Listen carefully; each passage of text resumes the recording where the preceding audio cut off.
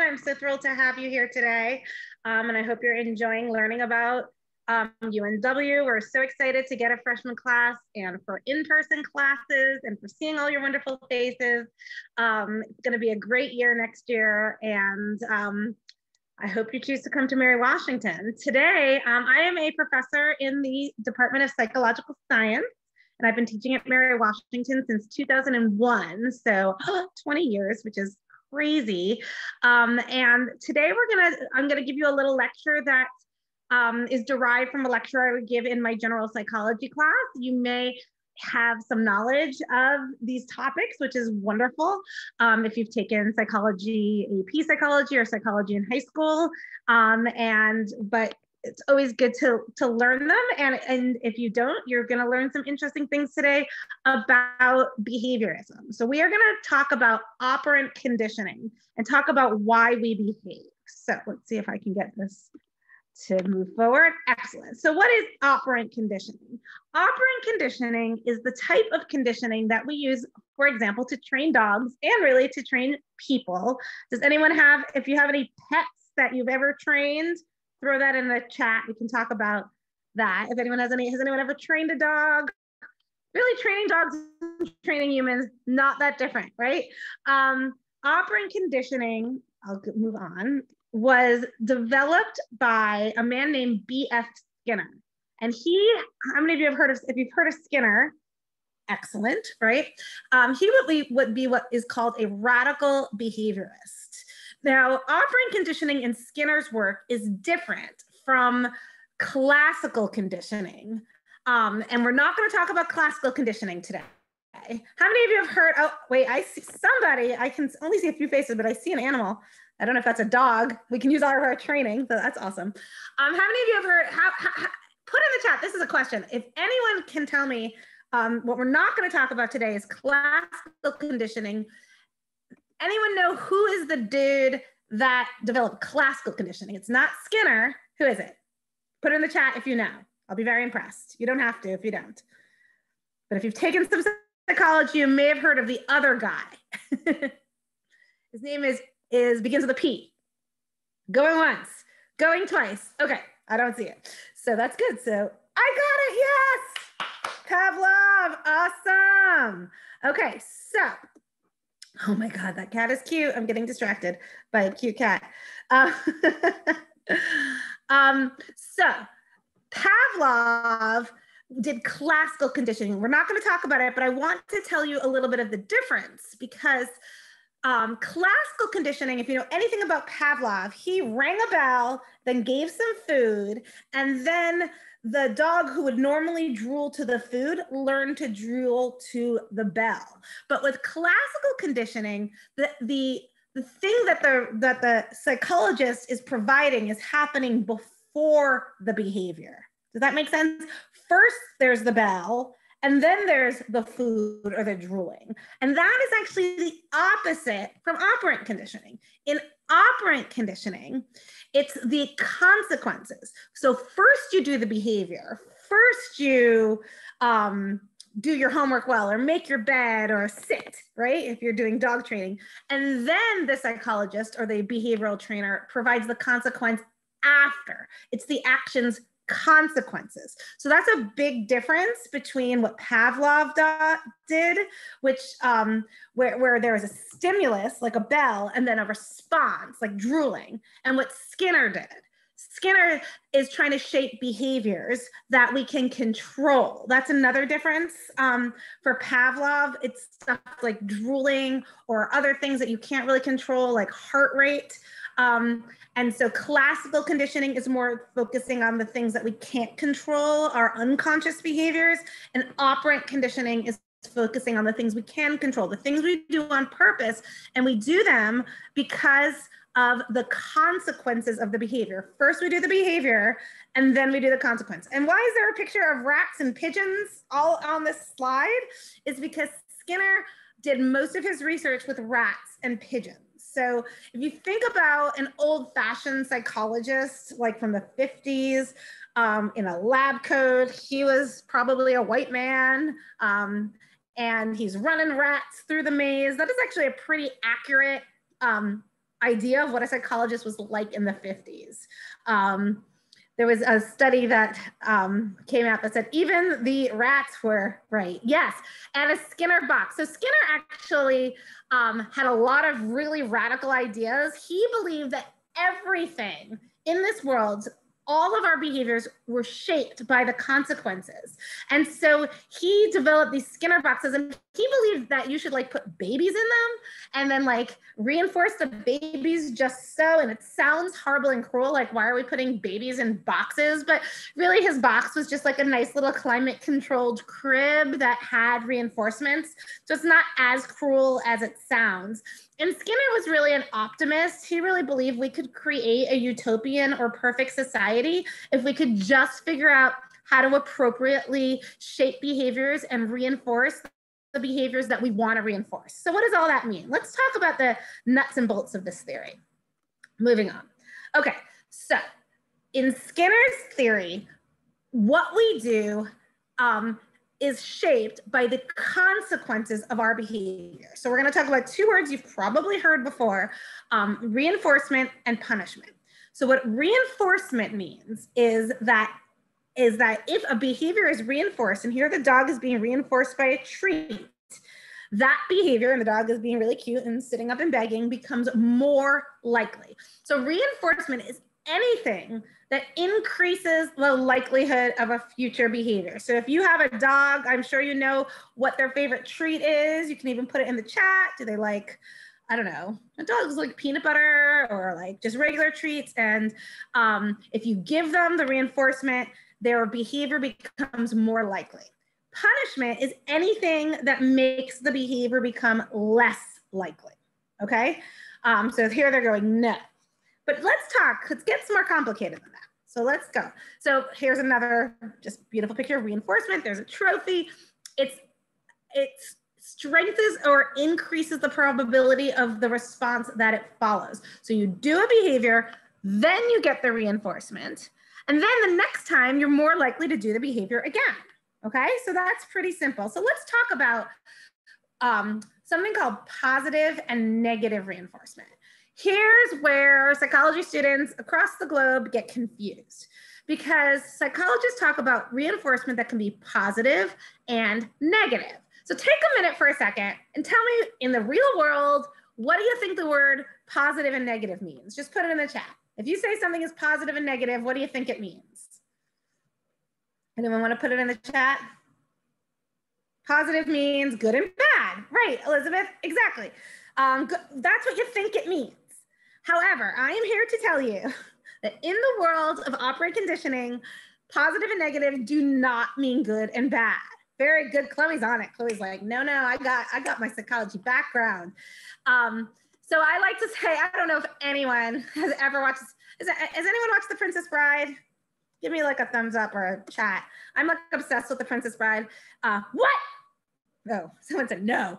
Every time my kids cannot identify a quote from The Princess Bride, I literally tell them it is time to watch The Princess Bride again. We must watch it. They're so sick of this movie by now. But anyhow, here's a quote from The Princess Bride. Um, so if you haven't watched it, that is your homework. Um, he goes, that word, I do not it, the word in the movie is inconceivable. And then he goes, I do not think that word means what you think it means. And that's what I want to say about um, positive and negative. It does not mean what you think it means. You think it means good and bad, but it does not. It means presented. So positive means added, presented, and negative means taken away or removed. So this is why things get tricky in psychology students and even in the media, they get this confused all the time. So let's see, say what that means. Okay, hold on, let me get this. Positive. What positive reinforcement is very intuitive. It's the same thing as re reward. When a pleasant consequence follows a response. So you do something good, you get money, you get a treat, you get a high five, okay? And it makes the behavior more likely to occur. Positive reinforcement is reward. It's exactly what you think when you think of reinforcement. But what could negative reinforcement be? Is negative reinforcement something we want? Anyone want to throw in the chat what you think negative reinforcement even could possibly be? So let's think about it. Something is removed, but the thing that is removed is not something we want because it's still reinforcement. We want to be negatively reinforced. So, a negative reinforcement, an unpleasant consequence is removed. So, in this case, the umbrella is the putting up the umbrella is being negatively reinforced because the unpleasant pleasant consequence is rain falling on our head. We don't want rain on our head. So we remove that. We want to have the umbrella. The umbrella is good. And next time we go out on the rain, we're more likely to put up an umbrella again. But it's not because the umbrella is giving us something good. It's because the umbrella is removing something bad. So it's when punishment is removed or an unpleasant consequence is removed. So we want to be negatively reinforced. It's not the same thing as punishment, although often there is a punishment there that had to be removed for it to be negatively reinforced. Okay, um, so that's positive and negative reinforcement. We're going to do some um, review of this. Now I want to talk about primary and secondary reinforcers. So a primary reinforcer is anything that is like inherently reinforcing typically satisfying a physiological need. Burt food, drink, um, maybe you could argue like affection is a primary reinforcer because we have a basic human need for affection. Um, but these are like primary reinforcers. So what do you think a secondary reinforcer might be? Anyone want to put in the chat? What could that be? It's not, it's not a, a, a inherent physiological need. So what could it be? Like what's secondary? Is it just food that reinforces? It satisfies a want. I like that. Yeah, kind of like a want. I love that. That my kids. That's a good differentiation. I remember when my kids were learning about the difference between wants and needs. You're on the right track. Um, but it's more like it's acquired a reinforcing property because we know it's good, like a medal or just the word great or a grade of A or a high five. It's kind of like a want, right? But it's also something that maybe we've associated, right, with um, being good. Let's see, I see more things in the chat. What are you saying? Like what you use to get the pre. Yeah, like sometimes we can use a secondary reinforcer to get a primary reinforcer. What's a good example of that?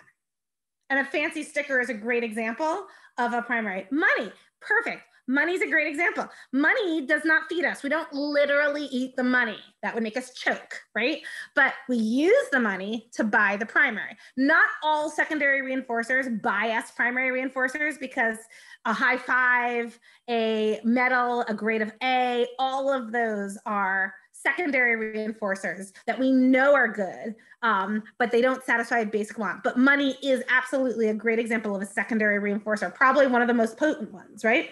Okay, now let's talk about punishment.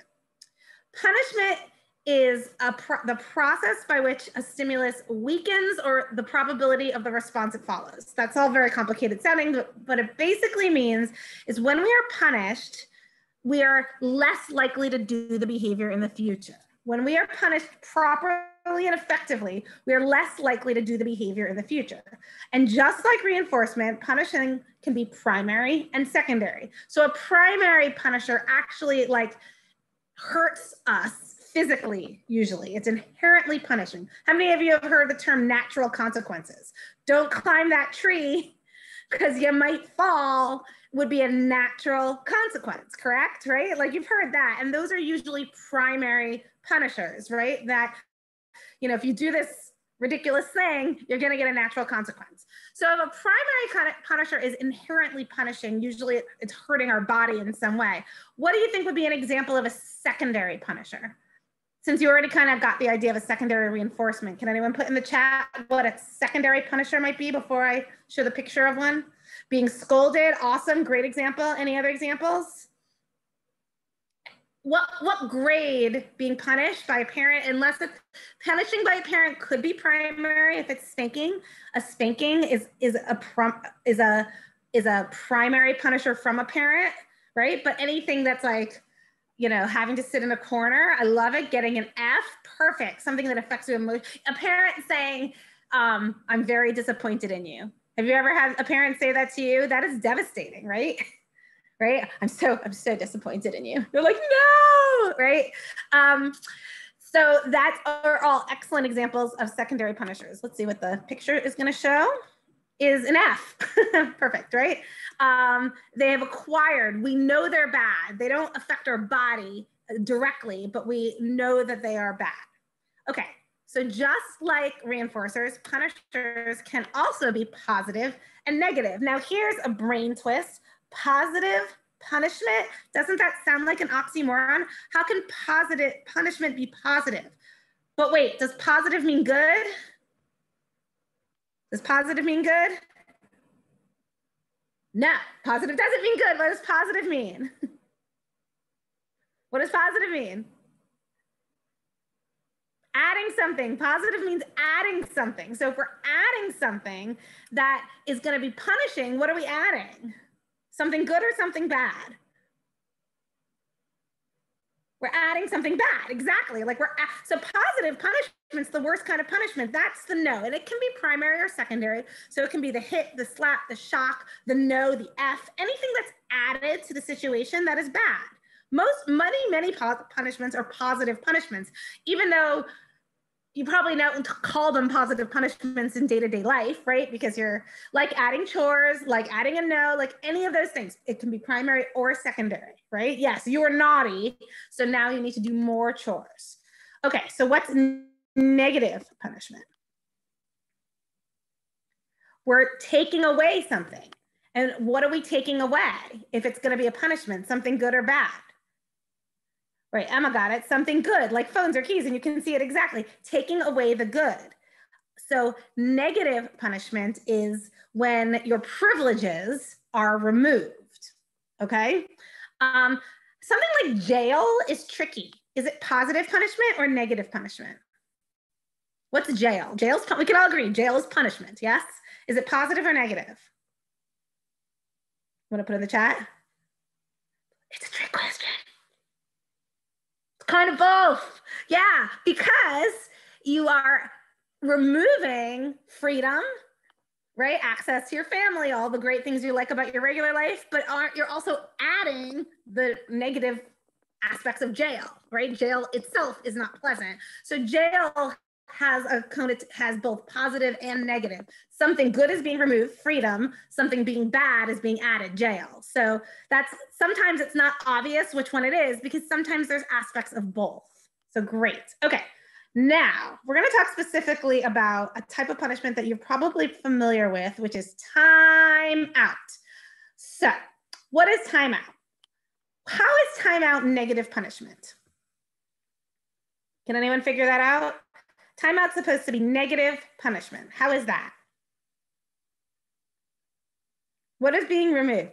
Taking away playtime. Exactly. We are removing the child from you know the stimulation. So the kid does something bad. They hit their sister. How many of you have ever been put in timeout? Is that something is still being used? It takes away your time. However, timeout, what do you think? Is timeout awesome? Is it always work? Is it like the best way of disciplining kids? No it has problems because not because it's inherently a bad thing to do, but because it's often misused. So let me tell you a little story. Um, Daniel, you've probably heard this story. I think I told it. You've heard most of this lecture, right? Uh, I told it on my async. It's one of my favorite stories. Now, I have to say, my daughter's 12 now. This is an old story. This is a story from when my daughter is two, but I just love this story. She she has given me approval now to tell the story. Um, when my daughter was two, I took her and her brother, who is four, was four, her brother's two years older, to a UMW Passover Seder. So the UMW Hillel Society in, um, and I'm sure they'll do it next year. They obviously um, did not do it during the pandemic, um, but have these wonderful Passover Seders where they um, feed you and they read the story and it's really fun and you like pay a little bit of money and you get a great meal and it's great. So I took her to this because it's like cultural awareness. This will be great and she's she there's the person taking the money is like super friendly to my daughter. And she's like hi. And he's like hi. And she like loves him. So we go to sit down and she's really happy and she's frolicking around. But now it's time to actually like be quiet and listen to like the speeches right? The story of passover. So she has to be quiet. So i'm like emily shh, sit down. Be quiet. So she i make her sit down. And guess what she does Danielle can guess. She smacks her brother, which she's not, well, I'm not saying she never smacked her brother before that, but she smacks her brother. Okay. And, and, first of all, this is in front of like my students. I'm a professor. I'm like supposed to like, you know, show well with my family, but this was embarrassing. So I was like, Emily, you don't, do not smack your brother. You need to go into timeout. So I pick her up and I like parade her in front of like all the tables because we were sitting in the back. So I had to go back and I put her in the hallway, kind of near the ticket taker. And I sit her there. Like, I'm like, okay, one minute of time out. She like waves to the guy, him, the guy taking the tickets is still there and she's like hi he's like hi and she sits there in the hallway and she's smiling and i'm like okay your timeout is over she goes to sit back down next to her brother anyone want to guess what she does immediately put it in the chat guess what she does she slaps him again immediate what emily stop you should not hit your brother you need to go to time out Yep, she wants the time out. Right. So I pick her up, I parade her over to all the students, I put her down. She waves hi, hi to the tickets. Hi, hi. You know, one minute, you know, timeout is over. Put them back. Guess what she does? Anyone want to guess? She smacks him again. How many times do you think me, a psychologist who teaches about conditioning, did this? How many times would you guess? This is like such an embarrassing story. It was somewhere between four and five times where I was like, time out. I was cousin. And then all of a sudden, I mean, I teach this. And then I was like, oh, this is reinforcing. she likes this. I mean, it took me, I swear to God, it's so much harder in the moment to make these connections. So yes, Emma says she says that it's, there was two aspects that were actually reinforcing. I wanted it to be punishing, but it was actually reinforcing for two reasons.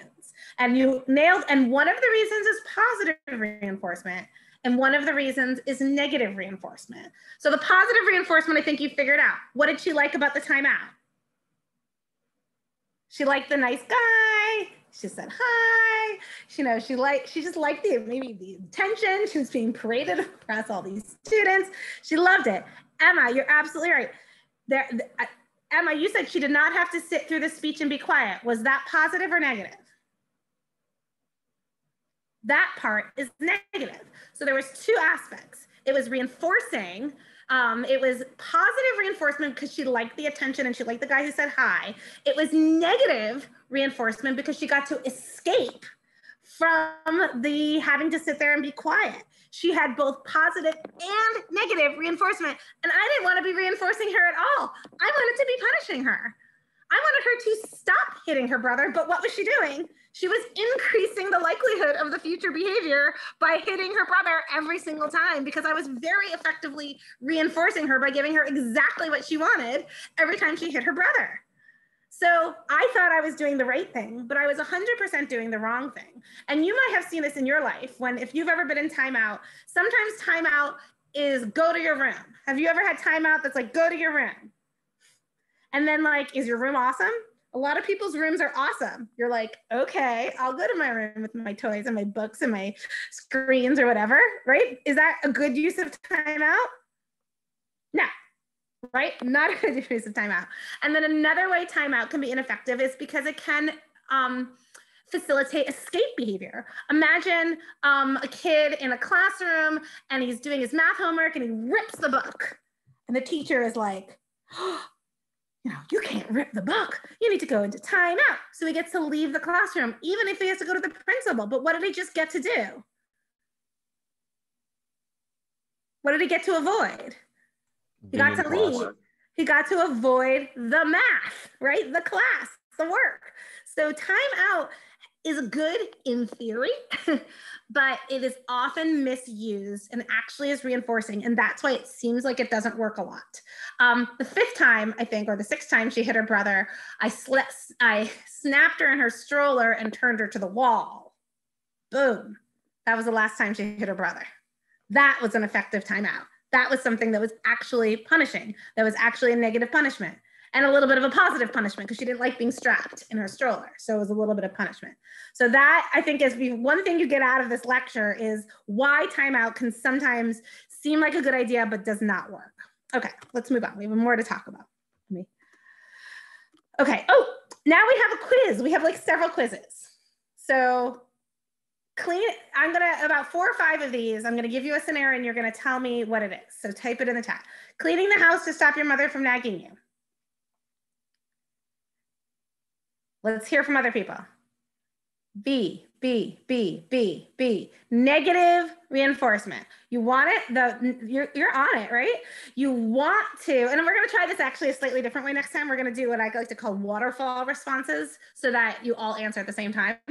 Um, but that is absolutely right, right? So the the mom is nagging you, right? Which is which is you don't want. You want that removed, right? So you're gonna clean the house, and then the mom stops nagging you, and the nagging stops. Excellent job turning down the volume of a very loud radio. Don't put it in yet.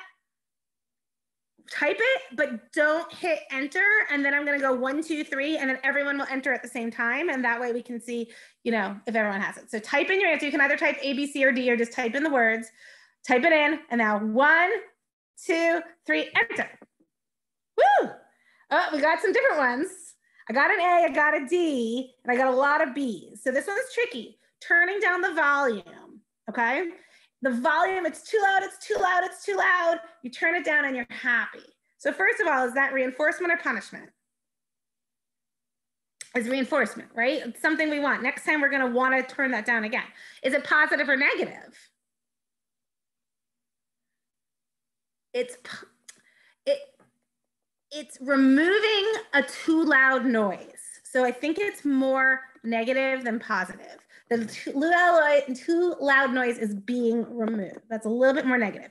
Okay, the next two show or example, don't put type anything yet. Wait till I say go.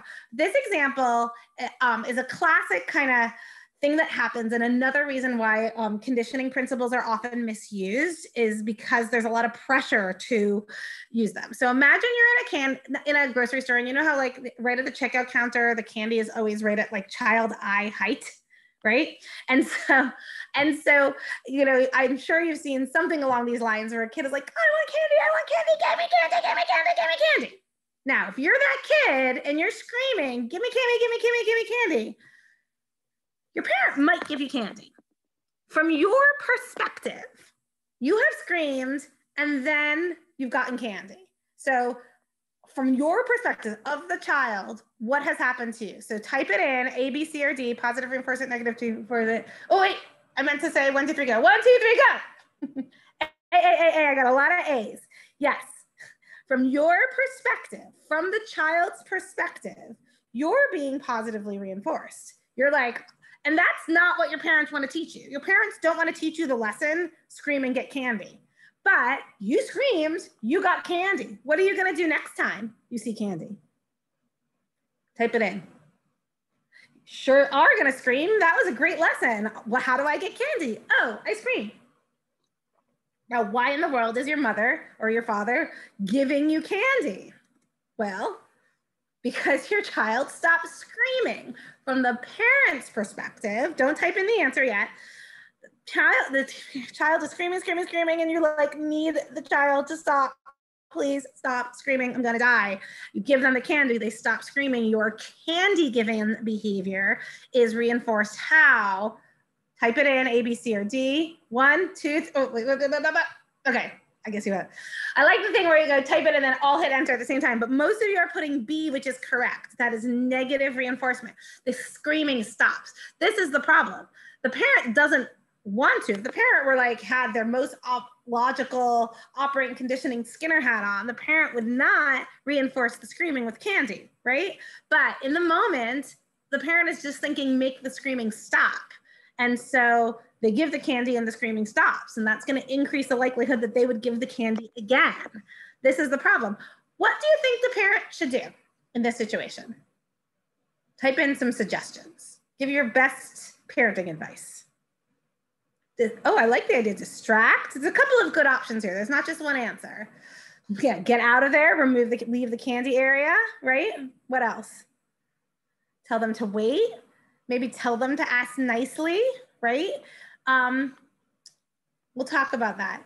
if you do something, you get it. Like give them a reason. Like if you are good throughout the whole grocery store, you can get it, right? Tell them there's candy at home. These are all really good ideas. give them something better at home if they stop screaming, right? Let's see if we have any more of these. Let's do one or two more and then we will talk about that candy and I'll give you even some more ideas about what you could do. Um, okay, you got ground, you hit your sister and now you're grounded. Don't, don't type, don't, don't hit enter yet. Type in your response and then I'm gonna go one, two, three, okay? right? Type it in. One, two, three, enter. D, D, D, D, D. I got some D's and some C's. I think everybody realizes that this is punishment. You're not totally clear if it's positive or negative punishment. So let's think through it. Has something been added or taken away when you're grounded? Usually being grounded is more about um, losing privileges, taken away. The privileges are being taken away. So it's more negative punishment than positive punishment right? If you were told while you're being grounded, you need to do X, Y, and Z extra chore, that would be positive punishment. But the actual just having your privileges taken away is more negative. Okay, I think this might be our last one. Rushing home in the winter to get out of the cold. You're running and then you get out of the cold, and that's so nice. So don't answer yet. One, two, three, answer. Very good. I, am giving a lot where the answer is negative reinforcement because that is one of the trickier ones. Um, people get that confused a lot, but in this case, the freezing is like unpleasant, and then the running is reinforced because the unpleasantness of the cold goes away. Oh, what, one more. This one's super easy. Type it in, but don't hit enter. One, two, three, go. Yeah, that one's easy. It's reward. Um, bonus, is this a is this a primary or secondary reinforcer? You type it in. Gold star, secondary, you're learning so much. Yay. Okay, so let's talk a little bit about how we would use operant conditioning in real life. Um, oh, whoops. Let me go back. Let me talk a little bit. How many of you have ever worked with children with autism or know any child with autism? Does anyone have any experience with autism?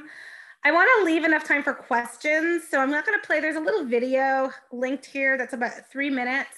Um, but how many of you have heard of applied behavior analysis? So applied behavior analysis is a behavioral technique that is used usually with younger children with autism applying the principles of operant conditioning. Children with autism, people with autism are not as good at kind of picking up social cues um, indirectly, kind of watching what other people are doing and picking it up. Usually, skills need to be taught a little bit more directly, and usually, those skills are taught um, using the principles of operant conditioning. So when I was an undergraduate, I actually did some applied behavioral analysis with a young child with autism. Um, who really was, was so successful that he ended up, I think, losing his diagnosis and going to college and leading a happy, healthy life. I'm friends with him on Facebook and he's doing great and doesn't really have any autism symptoms anymore. Um, but what we would do is we would um, we would shape, yeah, I know, it's pretty cool. Um, we would shape his behavior. We would reinforce um, you know, if he would have to say something, if he, I remember one thing, like he couldn't get the word the, like he couldn't get that th sound for speaking. So first we would just shape like stick your tongue out and we would like give them a lollipop. So they would stick his tongue out and then that would be reinforcing. And then we would say like, okay, do this. And we'd uh, stick your tongue out, maybe without the lollipop. And then we'd say, say the. And every time he would do the thing that we wanted him to do, we would give him praise or sometimes food or sometimes food and praise. Um, but then maybe just praise because now he would learn the praise is a, is, is a good thing. Um, and we just would teach, we would teach, you know, do this, like just copying behavior, language behavior, and then eventually more and more complicated skills. So um, it's a pretty neat technique. It relies mostly on um, the use of reward or reinforcement to um, shape behavior. Um, also, there's a picture of a dog. Obviously, you use operant conditioning to train animals too, but obviously animals and people, right? How many, what's the, put in the chat, the most impressive skill you have taught a pet? Has anyone taught a pet to do anything like really cool, like roll over? I mean, Roll over, I think is pretty cool. Fist bump is pretty, open the door. That's awesome. Stay is so hard. My daughter is volunteering now at the SPCA. She's 12, same daughter, like to smack her brother. Um, but now she loves dogs. Um, she's actually doing a project. I, I was thinking she should come to this lecture because she's actually going to be doing a project for her scope class on how to train dogs. It's like, you need, should probably come to my lecture, but I think she's still sleeping. Um, no, cats are much harder to train, I'm telling you. Um, although you can punish cats, right? Um, with a spray bottle, right? If they jump on the table, you're supposed to spray them. So, or I don't know if you do that. My cats just jump on the table. They're the worst behaved cats ever. Um, but yeah, you can, you, uh, but cats are harder to really train. But so she's also working to train. She can not it's very hard to get the dogs to stay. That's where I was going. I was very, it doesn't work. Your cat has trained them to give you food because they look so cute, right? um, so yeah, the problem with the spray bottle in cats is it has to be very consistent. Otherwise, it's not going to work. Actually, let's talk about that. We're going to talk about why things fail. We've already learned a little bit about when punishment can fail and succeed. So let's talk about punishment. That went pretty fast, but I'll read through this. Punishment is not something that is the favorite um, device of um, psychologists, but it can work. Um, I have a cat who likes getting sprayed. I don't even know what to say about that. Um, punishment can work in certain situations. If it happens immediately following the behavior, with if it's mild and if it's consistent. So so just like with the cats and the spray, you can't be like the cat has been hanging on the table for 10 minutes and then you're like spray. You have to do it as soon as they jump on the table. Just like with a dog, like I don't know if you've ever been in a situation where you've been trying to train a dog and then they might like poop, um, you know, or pee in the house, and then you're like come home and you're like try to punish the dog when you get home. Is that gonna work? Is that going to work? No, it's absolutely not going to work because the dog is like, I was just sitting here. What am I getting punished for? Like the dog doesn't know. And I know some people will try to like put the dog's like nose in the poop and be like, see, that's bad. But like that doesn't work. The dog gets confused. The punishment has to be immediate. Um, this whole like wait till your father gets home. No, right? Uh, it has to happen immediate and it's better when it's mild and it has to be consistent. If it isn't consistent, um, they're going to learn sometimes I can get away with it and sometimes I can't get away with it. So I might as well keep trying. All right, let's talk about when punishment doesn't work because a lot of times punishment is misused. Um, these are going to kind of fly through pretty quickly and then they're going to get dim. So let's just look at them and then I'll talk through them. Okay. So a lot of times punishment is administered inappropriately um, out of anger, right? If somebody, you know, sometimes that's what happens with physical punishment, where it's not like I am now using punishment in a logical way to um, shape behavior, but like, oh, I'm so angry, I'm gonna hit you, right? That's not a good use of punishment because it's not being used appropriately. If punishment is too strong, the person will be afraid. If you smack a dog, is the dog gonna wanna perform for you or behave for you? Or is the dog just gonna be scared of you? You can put it in the chat you're probably going to say. The dog will just be scared of you and it's not going to want to like love you right? And you don't and that dog isn't then going to want to behave or be good for you in the future. So when there's fear or anxiety um, punishment doesn't really work. The effect is temporary. So punishment might work in now but sometimes when people are punished they learn to only do the behavior when they're not going to be caught right? Like that's not the lesson we always want to teach, right? We don't want to teach them to just learn how to get away with it. We want to teach them that not to do the behavior. Um, if it doesn't immediately follow the behavior, it doesn't work. And then, oh, here, I want to go through here. We can look at these again because it's funky. Um, so they respond if it's if, if it doesn't immediately follow and it does not tell you what to do right? Punishment, you're like, doesn't tell you, like, don't be bad. You're like, okay, but I don't even know what I'm supposed to do, right? Like, sometimes kids and dogs need to be told the alternate be- alternative behavior they need to be trained kids need social skills they need to know this is how you take a turn this is how you wait this is how you say please and thank you, right? They need to be taught the skills. Punishment doesn't teach any of that. It just tells you that what you are doing is wrong. Um, and so that's not really that helpful. And as we said, punishment can prove to be reinforcement, especially timeout can be reinforcing. Um, other punishments too, if it's the only way someone's getting attention, sometimes punishment is reinforcing. So there's a lot of reason that punishment can fail. Um, so what are we gonna do? And now let's go back to the kid in the candy store. You had all wonderful suggestions, but um, basically here are some good suggestions. and some of this is the suggestions that you had. Teach the child problem solving skills. So tell them, you know what we're gonna do? We're gonna, you know, as we go down the counter, you're gonna like, you know, sing a song to yourself so you get, don't get distracted. Or here's how we take turns, and here's how we do that, right? We're gonna reward good behavior. Some of you suggested, you know, tell the kid they can get the candy if they are X, Y, and Z good in the grocery store. That's what we used to do we used to like say, okay, you can get a cookie at the end if you're like if you behave well so that they don't scream and get the candy then they have good behavior and get the candy. Sometimes you just have to ignore the behavior right? We didn't talk too much about this idea of extinction but extinction happens when you simply just stop reinforcing the behavior.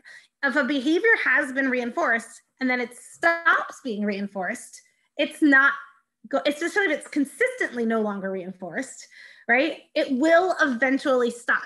Do you think it'll stop right away? If you've been like reinforcing your kid for screaming, every time they scream, they get candy. And then one day you're like, I will stop screaming. I will stop giving them candy when they scream. Is the kid immediately going to be like, no, I will stop screaming?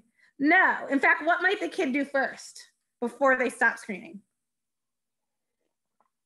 They're like, I want candy. And now, for the first time ever, you're like, no candy they may actually scream more. That's absolutely true. It's called an extinction burst. Um, the kid might be confused, but they actually might even do the behavior more because they're like, wait, it wasn't working. I just need to do it more. It's always worked, right? So you actually need to, if you're going to tell a parent, just ignore them, you need to warn them and be like, it could get worse before it gets better, right? Because a parent's going to come in the next week if you're a therapist being like, ignore it they're going to be like, it got worse. You're the worst therapist ever. You gave me the horrible advice. But you have to warn them, it's going to get worse first. But you have to be consistent with ignoring the bad behavior. But better than just ignoring the bad behavior is to ignore the bad behavior and then to reinforce an alternate behavior. So encourage some kind of alternative behavior and reinforce it. And in parenting, it's a good idea, a good piece of advice is to catch your child being good sometimes families get into like real conflict cycles where everybody is just angry at each other and like looking for reasons to get mad at each other. Um, and so in those cases you what you really want to do is focus on the times that your child is being good and you catch them being good and then you praise them. I love the way you're sitting still or you know helping your brother. I thank you so much for getting pouring your own milk. I mean, anything, right? Anything that they're doing, you try to find a good behavior and reward it, catch them being good. And then soon you'll kind of see those dynamics shift. Um, the last thing I want to do is give you one warning. I've been saying rewards in general are preferable to punishment, but even too much reward can backfire. Let me quickly explain what's happening in this graph. Um, and then, and then I think this is our last slide. I'll be happy to take questions. Um, how many of you have heard of the term extrinsic versus intrinsic? What's an intrinsic reward? If, like, what does that mean? Put it in the chat while I explain this. This is an experiment where they basically were giving kids um, these felt fancy felt tip pens, okay, that were really pretty cool. And before the experiment, they had two groups um, but they all were like, "Yay! I love drawing with these pens. These pens were awesome." But then they like randomly assign the good, the the kids. Yeah, internal reward. It makes you feel good about what you're doing. It's naturally rewarding. It's um, intrinsically. It's just joy. You do it for the the intrinsic joy, not because you're getting a reward. So they randomly assign these kids, and the kids on the pink bar were given a prize. They're like, "You did the best." with these felt pens. You get a prize because you played with these pens. Then the experiment is over and the kids are no longer going to get a prize playing with the pens. And guess what happens?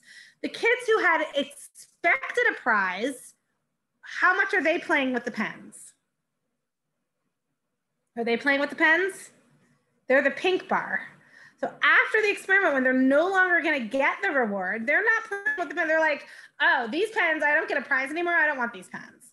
But the kids that never expected a reward and never got a reward were like, these pens are cool. I'm going to play with these pens. Some of this, so I don't know if anyone think of an example where too much reward like undermines your intrinsic love of doing something. Can anyone think of an example of that? I can think of a few. But like sometimes when we, yeah, that's exactly what I was thinking.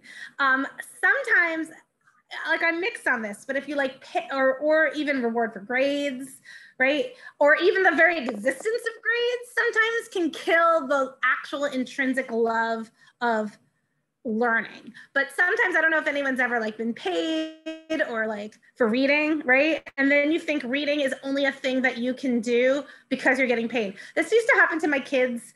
Um, sometimes summer reading programs can be very successful, but it didn't, and it can work for some kids. Um, it kind of depends on the kid. But for my kids in the summer, like in the school year, they would just read to like read. But in the summer, because they were getting prizes for tracking their reading, they would actually only read if they could like track their hours and enter them. If they didn't have like a pen to write down their hours, they would like literally refuse to read because they were like, well, I can't read because I'm not going to get reinforced for it. I was like, but you used to read just to read. So in that case, the reward was back was backfiring. Um, yeah, if you if you get too many rewards, you don't find as much pleasure, right? In just the everyday things. If you're only right for chores, for example, I mean, you know, it, it can work in some families, but in some families, if you're like, I will pay you when you unload the dishwasher, and then you're like, you want to just be like, unload the dishwasher, you can be like, well, where's my money? and they're not doing it because they're just helping out as part of the family. They're like, just part of being in this family is that we all chip in together, right? So rewards can backfire if it kills the intrinsic joy.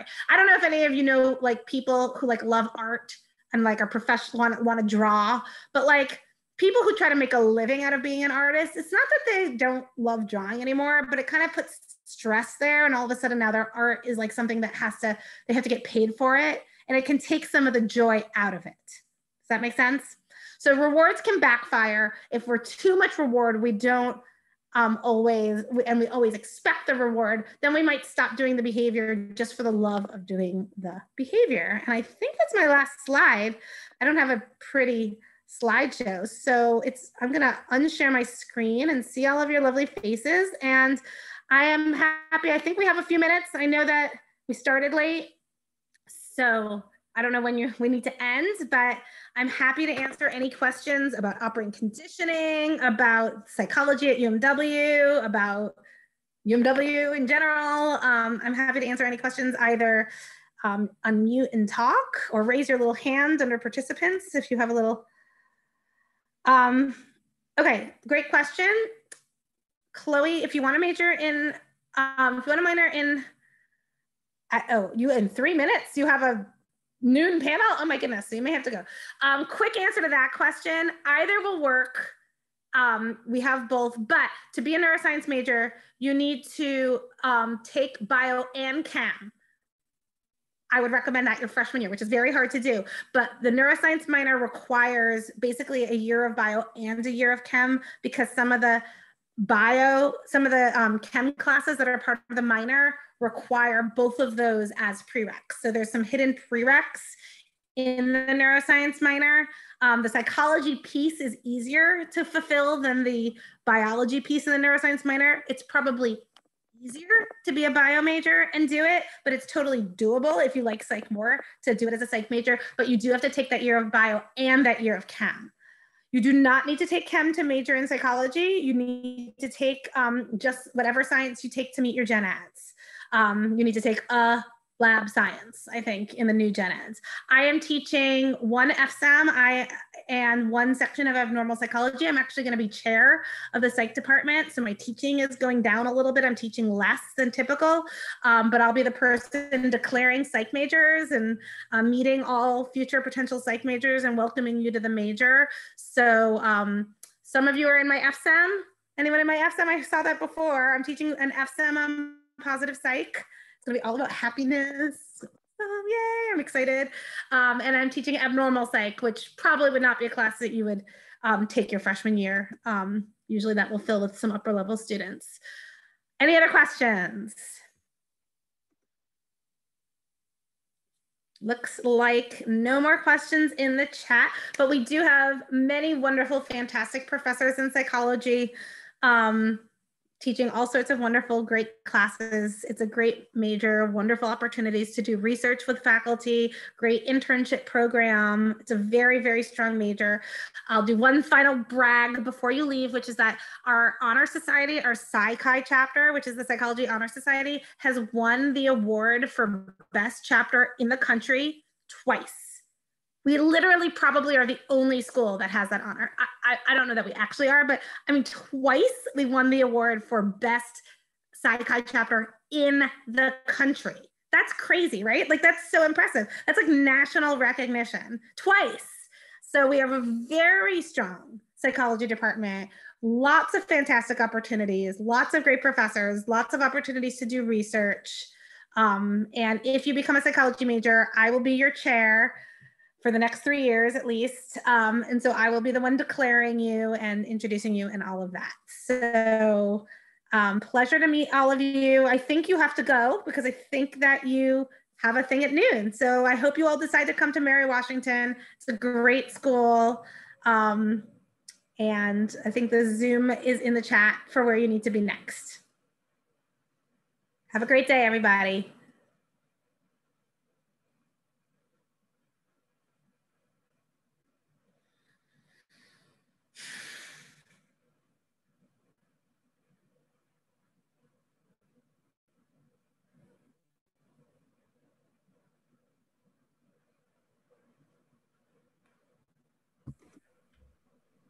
We good? I think Hi. so. Duke, Karen, do you guys need the link? Do you see where you're supposed to be going? I think we have somebody else join. it in. Oh, no. All right. Awesome. Thank you so much. And Tehran, thank you so much for doing this.